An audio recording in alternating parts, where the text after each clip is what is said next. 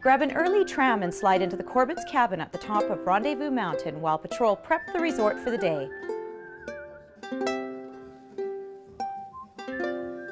Fresh waffles are served up to fuel the energy and excitement of our morning adventure, Corbett's Couloir.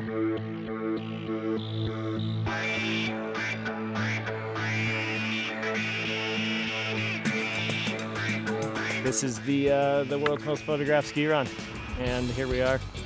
And the conditions are a little rugged, and uh, generally, typically, we would not use a rope, and um, could push right in there and find some of the goods. But right now, we're uh, we've got some pretty heavy conditions. You just want to commit to that rope. And this is how we would typically do it on a snow control, avalanche control morning. Uh, we would have backpacks full of explosives so that, you know, with that much weight on your back, we do it the safe way.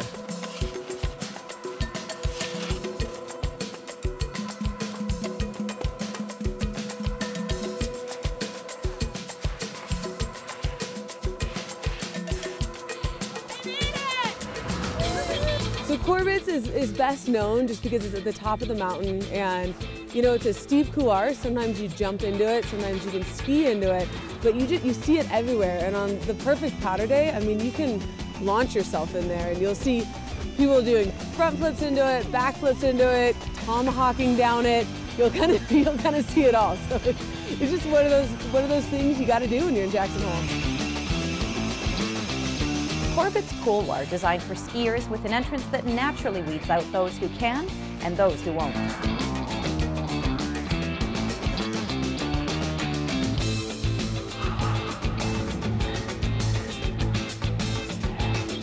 From the gripping fear of the entrance, earning the right to ski the belly, a consistent steep slope, preserved snow, and friends to share the moment with.